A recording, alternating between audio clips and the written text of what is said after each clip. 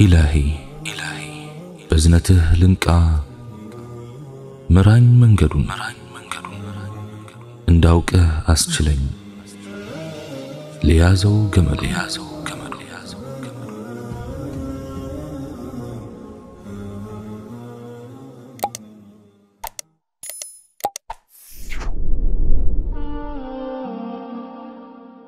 የአላህ ሰላምና እዝነት በእናንተ ላይ ይሁን። የዓለማቱ ጌታ ለሆነው አላህ ምስጋና ይገባው። የዓይናችን ማረፊያ ወዳጃችንና አለቃችን በሆኑት ነቢዩ ሙሐመድ የዓብድላህ ልጅ ላይና በቤተሰቦቻቸው በባልደረቦቻቸውና በእነዚያ መንገዳቸውን በተከተሉት ላይ ሁሉ የአላህ ሰላምና እዝነት ይስፈን። አላህ ሆይ ትእዛዝህን ለማክበር እዚህ በተባረከው ቦታ ላይ እንደሰበሰብከን በጀነትህ ሰብስበን አንተ የዓለማቱ ጌታ የሆንከው ሆይ በዚህ በተባረከው ስብስብ እንድንማማርበት ብዬ የመረጥኩት ትምህርት ከነቢያችን ሰለላሁ ዐለይሂ ወሰለም ሐዲቶች እንዲያውም አደራዎች አንዱ የሆነው እናነሳለን በአላህ ፈቃድ። ይህም ለአጎታቸው ልጅ የሆነው ለዓብዱላህ ኢብኑል ዐባስ አላህ መልካም ሥራቸውን ይውደድላቸውና የነገሩት አደራ ነው። ዓብዱላህ ኢብኑል ዐባስ እንዲህ ይላል፣ ከነቢዩ ጀርባ ነበርኩኝ። ከዚያም እንዲህ አሉ፣ አንተ ወጣት ሆይ አላህን ጠብቅ፣ ይጠብቅሃል። አላህን ጠብቅ፣ አስታውሰው፣ ፊት ለፊትህ ታገኘዋለህ። ከጠየክ አላህን ጠይቅ፣ እርዳታን ከፈለክ ከአላህ ጠይቅ። ይህንንም እወቅ፣ ሕዝቡ በሙሉ አንተን በተወሰነ ነገር ለመጥቀም ቢሰባሰብ አላህ የጻፈልህን እንጂ ሊጠቅሙ አይችሉም። በሆነ ነገር አንተን ሊጎዱ ቢሰባሰቡ አላህ የጻፈብህን እንጂ ሊጎዱ አይችሉም። ብዕሩ ተነስቷል፣ መጽሐፉም ደርቋል። ከነቢያችን ዓለይሂ ሰላቱ ወሰላም አንደበት የወጡ ውስን ቃላቶች ናቸው፣ ነገር ግን ጥልቅ ትርጉም አላቸው። ይህ ሐዲት በአላህ ስብሓንሁ ወተዓላ ላይ ለመመካት በእሱም ላይ እንድንተማመን ከሚያደርጉ ምሰሶዎች አንዱ ነው። በርካታ ሰው በአላህ ስብሓንሁ ወተዓላ ላይ የመመካትን እሴት በአላህ ስብሓንሁ ወተዓላ ላይ ሊኖረን የሚገባ መተማመን አጥቷል። ይህም ሊሆን የቻለው ልባችን በዚህች አላፊ በሆነች ዱንያ ላይ በመንጠልጠሉ ነው። ከልክ በላይ ለዱንያ በመጨነቁም ነው። በዚሁም ምክንያት ነው እንግዲህ ብዙ ሰዎች ዘንድ በአላህ ስብሓንሁ ወተዓላ ላይ የመመካቱ ጉዳይ ላይ ድክመት እያሳየ የሚገኘው። ነቢዩ ዓለይሂ ሰላቱ ወሰላም ውብ የሆነች ሐዲት አለቻቸው። ነቢያችን ዓለይሂ ሰላቱ ወሰላም ሊያስተምሩ እንዲህ አሉ። በእኔ ላይ ይህ መልእክት ደረሰ። ነፍስ አትሞትም። ማንኛውም ነፍስ ሁላችንም፣ ከኛ በፊት የነበሩትም ከኛ በኋላ የሚመጡ ሁሉም ነፍስ አማኝም ትሁን ከሃዲ፣ ወንድም ይሁን ሴት፣ ትንሽም ይሁን ትልቅ ነፍስ አትሞትም የተጻፈላትን ዕድሜና ሲሳይ ያጠናቀቀች ቢሆን እንጂ። በደንብ አጢኑት ይህን ንግግር። ነፍስ አትሞትም የተጻፈላትን ዕድሜና ሲሳይ ያጠናቀቀች ቢሆን እንጂ። የተጻፈላትን ሙሉ ሲሳይ የተጻፈላትን ሙሉ ዕድሜ እስካላገኘች ድረስ አትሞትም። እሺ ከዛስ? ጉዳዩ እንዲህ ከሆነ ጥያቄዎቻችሁን አሳምሩ። አላህን ስንለምን አንደበታችንን እናሳምር። ክፉ ተግባራት ላይ አንዘፈቅ፣ አንስረቅ፣ አንዋሽ፣ አናታልል፣ አራጣን አንብላ፣ ክህደት አንፈጽም። ለምን ከተባለ ምክንያቱም ከተጻፈልን ሲሳይ በላይ አናገኝምና። የሰው ልጅ የተጻፈለትን ሲሳይ ሙሉውን እንደሚያገኝ እርግጠኛ ሆኖ በልቡ ካመነ በሐላል እንጂ በሐራም ለማግኘት አይታጣርም። በአላህ ይሁንብኝ በሐራምም ይሁን በሐላል መንገድ የሚያገኘው ሲሳይ የተጻፈለት ሲሳይ ነው። በፍጹም ጭማሪ አያገኝም። በፍጹም እንዲያ ከሆነ ነገሩ አላህን ልንፈራ ይገባል። ለዚህም ነው ነቢያችን ዓለይሂ ሰላቱ ወሰላም ጥያቄዎቻችሁን አሳምሩ ያሉ። አንተ ወጣት ሆይ አላህን ጠብቀው፣ ትእዛዛቱን ጠብቅ፣ ክልከላዎቹን ጠብቅ። ጥራት የተገባው አላህ ይጠብቅሃል። ሚዛኑን የጠበቀ ነው አካሄዱ። ትእዛዛቱን በመተግበር ክልከላዎቹን በመራቅ የአላህን ድንበር በማክበር አንተ ትጀምራለህ። ከዚያም እሱ በሕይወትህ ሙሉ ጥበቃው አይለየህም። አላህን ጠብቅ፣ ፊት ለፊትህ ታገኘዋለህ። ማን ነው ከኛ ውስጥ ችግር ውስጥ በወደቀ ጊዜ አዳኝ የማይፈልገው? ከጎንህ ስድስት ወይም ሰባት የምትኮራባቸው ወንድሞች ወይም ጓደኞች ቆመው ብታገኝ ደስ ይልሃል። ረዳትህ አላህ መሆኑን ብታውቅስ ምን ይሰማሃል? በታሪክ መዛግብት እንደሰፈረው ሰዒድ ኢብኑ ጃብር ወደ አልሐጃጅ ኢብኑ ዩስፍ ዘንድ መጣ። ይህም አልሐጃጅ የተባለው በጣም በዳይ ነበር። ከዚያም አልሐጃጅ እንዲህ አለ፣ በአላህ ይሁንብኝ ገድይህ ወደ ጀሃነም እንድትገባ ነው የማደርገው አለ። ከዚያም ሰዒድ ኢብኑ ጃብር በሙሉ ልብና ያለምንም ፍርሃት ሲመልስ በአላህ ይሁንብኝ እንዲህ አይነት ችሎታ እንዳለህ ባውቅ ኑሮ እንደ ጌታ አመልከህ ነበር። ነገር ግን ሕይወቴም ሞቴም ጥራት በተገባው አላህ እጅ መሆኑን በሙሉ ልብ አምናለሁ። ሲሳይም በአላህ እጅ ነው፣ ጀነትና ጀሃነምም በአላህ እጅ ነው። ስለዚህ በዚህ ረገድ በልባችን የቂን ካደርና በተግባርም አክለን ካረጋገጠን በአላህ ይሁንብኝ በዚህች ዱንያ ያለን ሕይወት ያማረና ሰላም የሰፈነበት ነው የሚሆነው። አላህን ጠብቅ፣ ፊት ለፊትህ ታገኘዋለህ። ስለዚህ መለመን ከፈለክ አላህን ለምን፣ የፈጠራቸው እንጂ ፍጥሮቹን አትለምን። የሁሉ ነገር ባለቤት የሆነውን ጌታ ለምን። የአላህ ግምጃ ቤቶች በእጃችን ቢሆኑ ኖሮ በአላህ ይሁንብኝ ስስታችን ለከት አይኖረውም ነበር። ምስጋና የተገባው አላህ ግምጃ ቤቶቹ በቁጥጥሩ ስር ናቸው። ሰጪውም እሱ ነው፣ ቸሩና ለጋሱ እሱ ነው። ጥራት ይገባው። ስለዚህ የሰው ልጅ መጠየቁ ካልቀራ አላህን ይጠይቅ። ሰዎች እንደ ሰበብ ብንጠቀምባቸው ችግር የለውም። ነገር ግን የቀልባችን የቂንና መመካታችን በአላህ ብቻ ይሆን። ለዚሁም ነው ዑለማዎች አንድ ሰው ከሰዎች በሚጠይቅበት ወቅት ሲሳዩ በእጃቸው እንደሆነና ጠቃሚዎቹና ጎጂዎች እነሱ መሆናቸው ካመነ ካፊር ወይም ከሃዲ ነው ብለዋል። እንዲሁም ሲሳይ በአላህ እጅ መሆኑን እያወቀ ነገር ግን በአላህ ላይ መደገፍን ወይም መመካትን ዘንግቶ ከሰዎች ከጠየቀ ትንሹ ሽርክ ላይ ወድቀዋል ማለት ነው። ስለዚህ ከሰዎች እርዳታን ስንጠይቅ ሰጪ አላህ መሆኑን መዘንጋት የለብንም። መመኪያችን ፈጣሪያችን የሱ መሆናችንን መርሳት የለብንም። ስለዚህ መጠየቅህ ካልቀራ አላህን ጠይቅ። እርዳታን የምትሻ ከሆነ ከአላህ ፈልግ። ለዚህም ሕዝቡ በሙሉ አንተን በተወሰነ ነገር ለመጥቀም ቢሰባሰብ አላህ የጻፈልህን እንጂ ሊጠቅሙ አይችሉም። በሆነ ነገር አንተን ሊጎዱ ቢሰባሰቡ አላህ የጻፈብህን እንጂ ሊጎዱ አይችሉም የተባለው።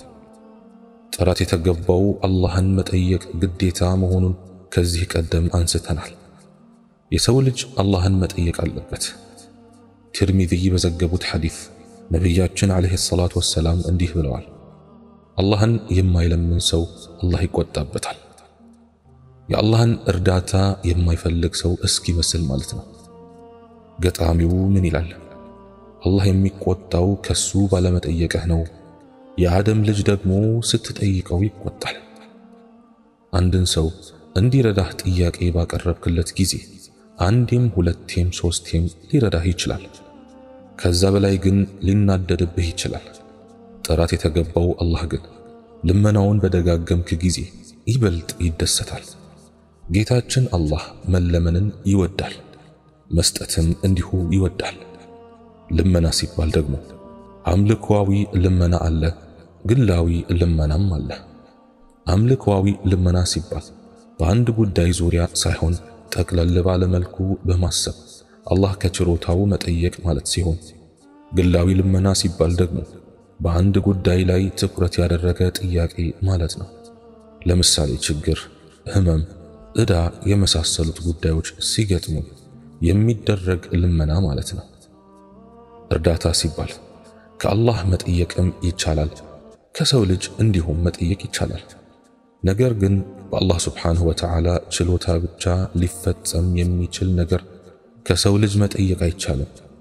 ለምሳሌ ልጅ እንዲወለድለት የሚፈልግ ጀነት የመግባት ጥያቄ፣ ከጀሃነም እሳት የመጠበቅ ጥያቄ የመሳሰሉት እንደነዚህ ጉዳዮች በአላህ ስብሓንሁ ወተዓላ ቁጥጥር ስር የሚገኙ ነገሮች ናቸው። ጥያቄዎቹም ለሰው ልጅ ሊቀርቡ የሚገቡ አይደሉም።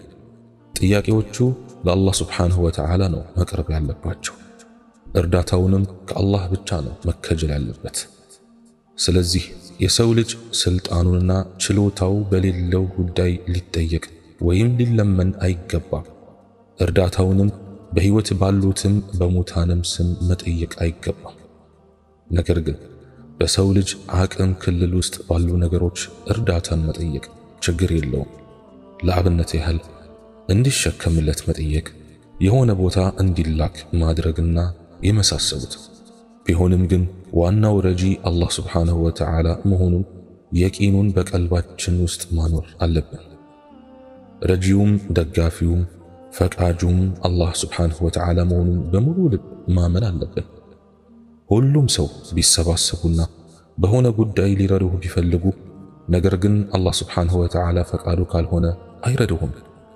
እንዲሁም ከሆነ ነገር ሊከለክሉህ ቢፈልጉ ነገር ግን አላህ ስብሓንሁ ወተዓላ ፈቃዱ ካልሆነ አይከለክሉህም።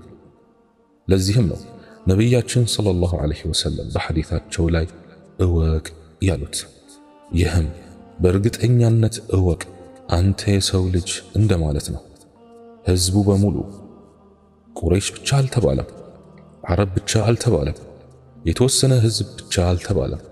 ሕዝቡን በሙሉ ነው የተባለው። አንተን በተወሰነ ነገር ወይም በአንዲት ነገር እንግዲህ አንዲት ነገር ሲባል በጣም አናሳ በሆነ ነገር እንኳን ቢሆን እየተባልን ነው። አንተን በተወሰነ ነገር ለመጥቀም ቢሰበሰቡ አላህ የጻፈልህን እንጂ ሊጠቅሙ አይችሉም። በሆነ ነገር አንተን ሊጎዱህ ቢሰበሰቡ አላህ የጻፈብህን እንጂ ሊጎዱህ አይችልም የተባለው። ስለዚህ አንድ ሰው ቀልቡ በሰው ልጅ ላይ መንጠልጠል የለበትም። ለምን ቢባል ምክንያቱም አላህ ስብሓንሁ ወተዓላ ያልጻፈለትን ነገር ሊሰጡት ስለማይችሉ ነውና። አላህ ስብሓንሁ ወተዓላ አንድን ነገር እንዳገኘው ካልጻፈልኝ እንደማላገኘው የቂኑ ካለኝ ለምን በሰዎች ላይ እንጠለጠላለሁ? ለምን እለምናቸዋለሁ? ወይም እነሱ ዘንድ አለቅሳለሁ? ወይም ሊሰጡኝ አሊያም ላይሰጡኝ ይችላሉ እያልኩ እጨነቃለሁ? ወይም ጉዳይን ያሳኩልኝ ይሆን አያሳኩልኝ እያልኩ ለምን እባዝናለሁ? ስለዚህ ቀልባችን በፈጠራቸው እንጂ በፍጡራኖቹ ላይ አይንጠልጠል። ይህም አዎንታዊ አይነት አስተሳሰብ ሕይወታችን በቀላሉ እንድንመራ ይረዳናል። በራስ የመተማመን ከፍታ ላይ ያኖረናል። ለሰው ዝቅ ብሎ ከመዋረድም ይታደገናል። ከሰውም እንዳንፈልግ በደጃፎቻቸው ወድቀን እንዳናለቅስ ይረዳናል። ነቢዩ ዓለይሂ ሰላቱ ወሰላም እንዲህ ብለዋል። አላህ ሰማይንና ምድርን ከመፍጠሩ ከሃምሳ ሺህ ዓመት በፊት የፍጥረቱ ሁሉ ዕጣ ፋንታ ጽፏል። ለአላህ ጥራት ይገባው። ሰማይንና ምድርን እንዲሁም አባታችን አደም ዓለይሂ ሰላም ከመፈጠራቸው ከብዙ ዓመታት በፊት ነው እንግዲህ የሰው ልጅ ዕጣ ፋንታ የተጻፈው። ከዚያም አልኪታበቱል ዑምሪያ ወይም ከተወለደ ቀን ጀምሮ እስከ ለተሞቱ ያለውን ሁሉ በእናቱ ማኅፀን ውስጥ እያለ ይጻፋል። ነቢዩ ዓለይሂ ሰላቱ ወሰላም እንዲህ ብለዋል። አንዳችሁ በእናቱ ሆድ ውስጥ ሳለ በአርባ ቀን ውስጥ አፈጣጠሩ ይሰበሰባል። ከዚያም የረጋ ደም ይሆናል። ከዚያም ቁራጭ ሥጋ ይሆናል። ከዚያም መልአክ ይላክና ነፍስ ይነፋበታል። አራት ነገሮች እንዲጽፍም ይታዘዛል። ሲሳዩ፣ ጊዜው፣ ሥራው፣ ደስተኛ ወይም ዕድለቢስ መሆኑ። ይህ እንግዲህ በእናትህ ሆድ ውስጥ እያለህ የተጻፈልህ ነው። የምታገኘው ሲሳይ ሁሉ በእናትህ ሆድ ውስጥ እያለህ የተጻፈልህ ነው። ስለዚህ ሲሳይ ተጽፎ ያበቃ እስከሆነ ድረስ ሰው ላይ ምን አንጠለጠለኝ? ጥራት በተገባው ፈጣሪ ነው እንጂ አሳምሮ መንጠልጠል። ለጋሱ እሱ ነውና ጠቃሚውና ጎጂው አላህ ስብሓንሁ ወተዓላ ነው። ስለዚህ አላህ ካልፈቀደ ማንም ሊጎዳን አይችልም ብሎ ማሰብ በራሱ ጥንካሬን ይሰጣል፣ ጀግንነትን ያላብሳል። እንዲያ ከሆነ ታዲያ በነፍሶቻቸው ጉዳትን ለመከላከል ጥቅምንም ለማምጣት ከማይችሉን ሰዎች ምን አስፈራን? በእነሱ ላይ ምን አንጠለጠለን? ለዚህም ነው በዚህች ዱንያ የሚገጥመን ማንኛውንም ችግርም ይሁን ሙሲባ አላህ ስብሓንሁ ወተዓላ ዘንድ ቀድሞ የተጻፈ ነው ብለን በየቂን አለማሰባችን ለስነ ልቦናዊ ቀውስ የምንዳረገው። ነገር ግን በአላህ ስብሓንሁ ወተዓላ ውሳኔ የረካ ሰው ውስጡ መርካቱ አይቀርም። አላህ ስብሓንሁ ወተዓላ ምን ይላል? በምድርም በነፍሶቻችሁም መከራ ማንንም አትነካም ሳንፈጥራት በፊት በመጽሐፍ የተመዘገበች ብትሆን እንጂ። ይህ በአላህ ላይ ገር ነው። ይህ ማሳወቃችን ባመለጣችሁ ጸጋ ላይ እንዳታዝኑ፣ አላህም በሰጣችሁ ነገር በትዕቢት እንዳትደሰቱ ነው። አላህም ኩራተኛን ጉረኛን ሁሉ አይወድም። የተሰጠን ነገር ቀድሞ የተጻፈ ነውና በትዕቢት እንዳንደሰት፣ እንዲሁም የደረሰብንን ነገር ቀድሞ የተጻፈ ነውና እንዳናዘን አላህ ስብሓንሁ ወተዓላ እየነገረን ነው። በሌላም አንቀጽ ምን ይላል? አላህ ለእኛ የጻፈልን ጥቅም እንጂ ሌላ አይነካንም። በእንደነዚህ አይነት አንቀጾች ላይ ትኩረት አድርገን ከልባችን ብናምንባቸው ያለምንም ፍርሃት ሕይወታችንን በገፋን ነበር፣ ማንንም ባልፈራን ነበር።